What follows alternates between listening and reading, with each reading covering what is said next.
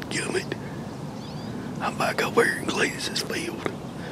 Him and him Jeans went to see her sister, Eula. They're not in town, so I slipped back over here in Cletus's field. And a dadgum mature deer come walking down this edge right here. I mean a mature. He was mature. I was getting ready to swing around on him. Put a calf in him over there. I was gonna calf him, son. I mean, I was on him. I was on him. Dadgum Sally. Dadgum Sally last night cooked chili. I told her not to be cooking chili during deer season. It's December. She knows I'm going hunting. And on top of that, it wasn't just chili. She put jalapeno sauce in it. Well, that dadgum two deer's coming down through there. And I was about to swing on him.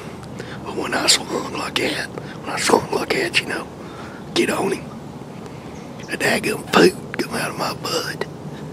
And I see downwind of me, and he got a whiff of that thing. That daggum jalapeno chili sauce. And he turned inside out, and he got out of here, boy. I'm telling you, boys, he was my doer. He was a vegan. He probably about 187. That daggum chili cost me. So, that daggum chili cost me a mature deer. Thanks a lot, Sally. Told you not to be cooking chili. It's been public service announcement.